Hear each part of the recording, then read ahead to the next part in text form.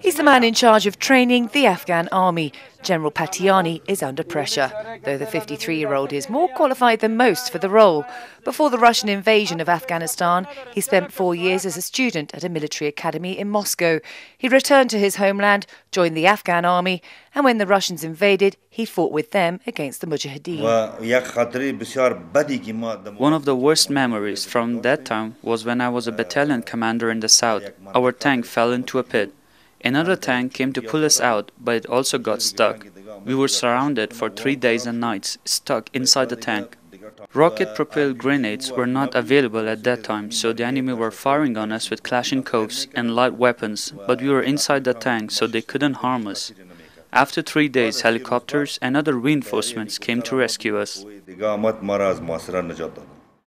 After the Russians left, General Patyani rejoined the Afghan army. During the Taliban's reign, he kept a low profile. As soon as they were toppled, he signed up once again. At that time, when I was the battalion commander, we didn't have any vehicles or weapons, old or new. We started with the coalition forces from nothing. Since 2001, we have witnessed the Afghan army make great progress and increase in numbers. Last year saw the first graduation of female Army officers. The Army has 150,000 personnel to date. Their aim to reach more than 170,000 by this November.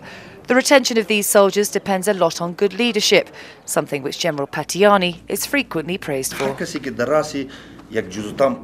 Anyone who leads a group, he or she should be aware of all of the problems of his or her subordinates. Their problems should be solved.